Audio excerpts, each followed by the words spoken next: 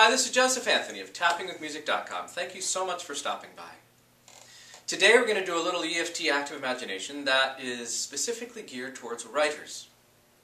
And being a poet and a short story writer myself, it's going to have a bit of that slant, but it's really for any type of writer, any genre that you write, biography, memoirs, nonfiction, fiction, anything like that.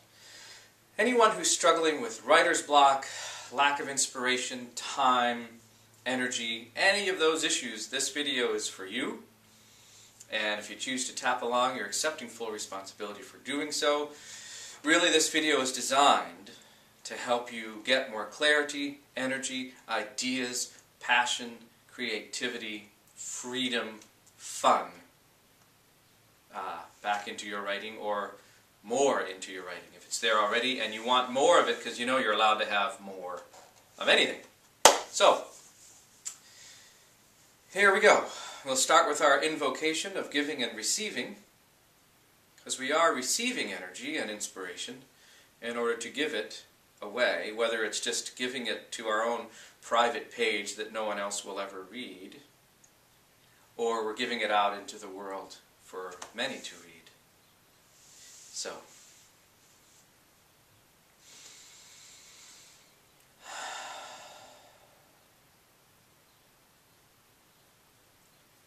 I give, I receive, I am part of the world. I give, I receive, I am part of the world.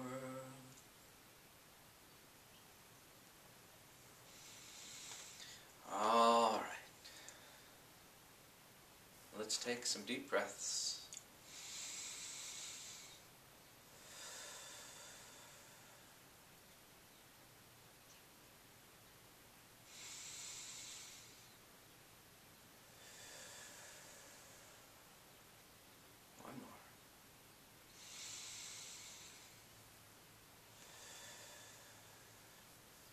Close our eyes. And with the eyes of the heart, I invite you to imagine an image, a writer that you admire, that you love, living or dead.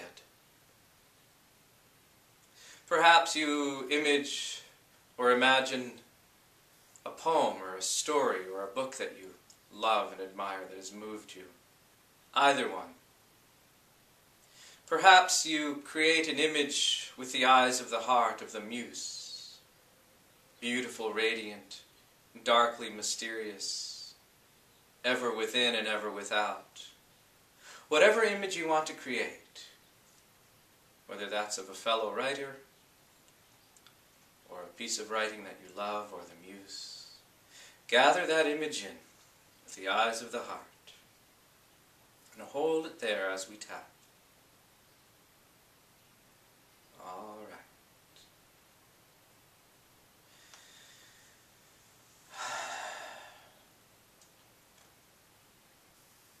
I am tapping in more creativity into my writing. I am tapping in more stories and images into my writing. I see the world with the eyes of a writer. I see stories and poems dripping from everything I see.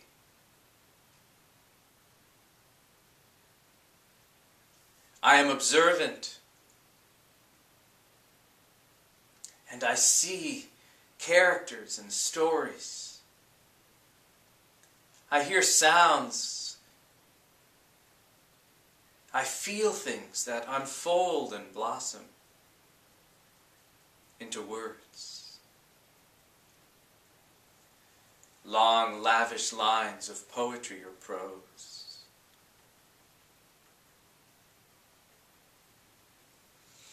I see with the eyes of a writer. And I know the best cure for writer's block, if there really is such a thing, is putting ass to chair and pen in hand. So, right here and right now, I make a conscious decision to simply sit and write. And I release any worry of what others might think of what I write.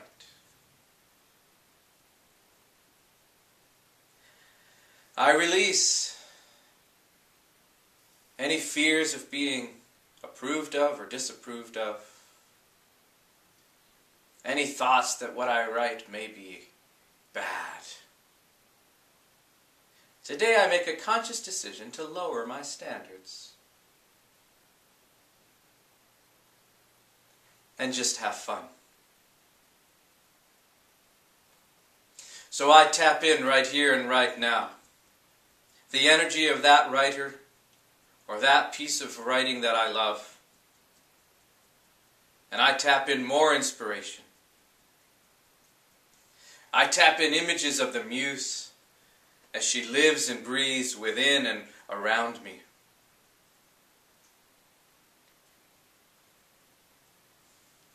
I write to heal my soul, to nourish my soul, to express my soul. All the energy that I may have within me, the, any, any feelings of joy or grief or shame or rage. I allow it to enter my writing, to unfurl across the page. I choose in this moment to let my pen dance and play across the page. I choose to let my fingers dance over the keyboard if that's how I write. I tap in a great sense of adventure and a willingness to explore the forests within me and around me. There are stories and poems everywhere.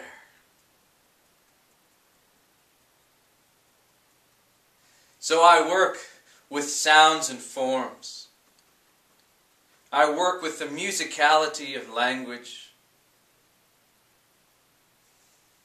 And if I if I choose I allow my writing to leave the reader with questions. It's all right if I want to give them an answer, of course. But I channel in the mystery. It's okay to ask questions, to express what I want to express, because the process of writing, of gathering the energy and healing, I love that process and I honor it. I breathe in images. I breathe in the energy of the muse. I am the author of my life. That makes me an authority of my own life. So I write from my own life. I write from the world around me.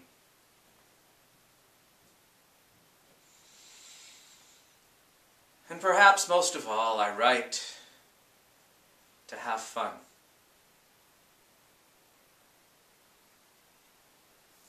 To feel joy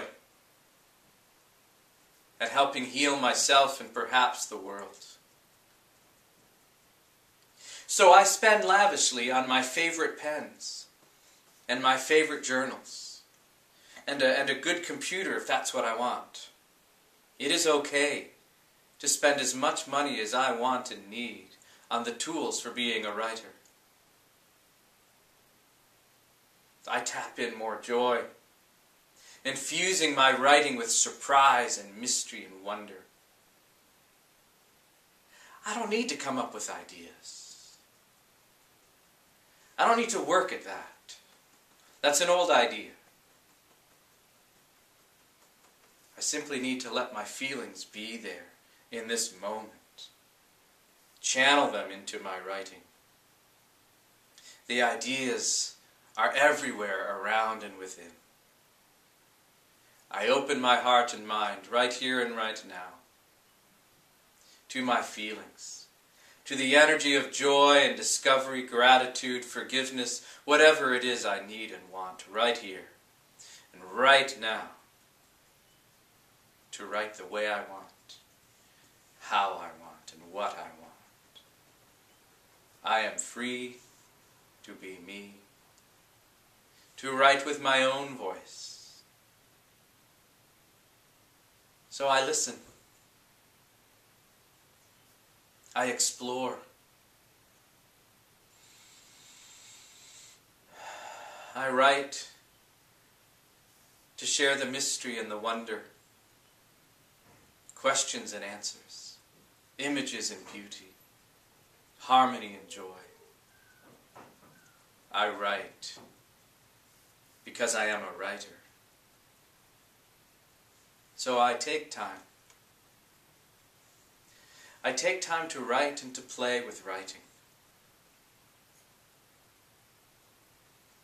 And I walk and see with the eyes of a writer. Stories and images everywhere. It is just like oxygen within and without.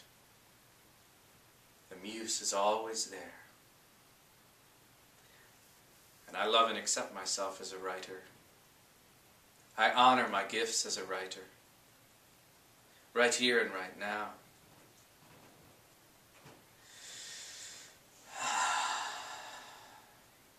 More inspiration.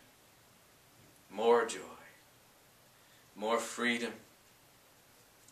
More healing.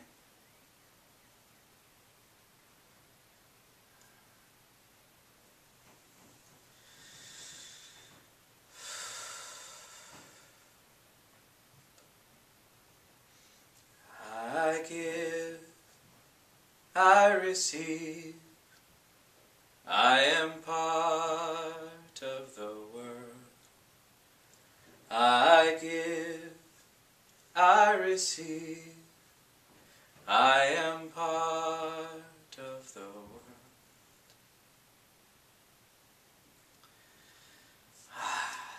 Thank you so much for watching. I Truly hope you found that helpful and inspiring. And if you want any other EFT ideas or mentoring sessions with me, go to my website, tappingwithmusic.com. Drop me a line, Joseph Anthony at tappingwithmusic.com. Happy to help in any way I can. Go, write, have fun. Thanks for watching.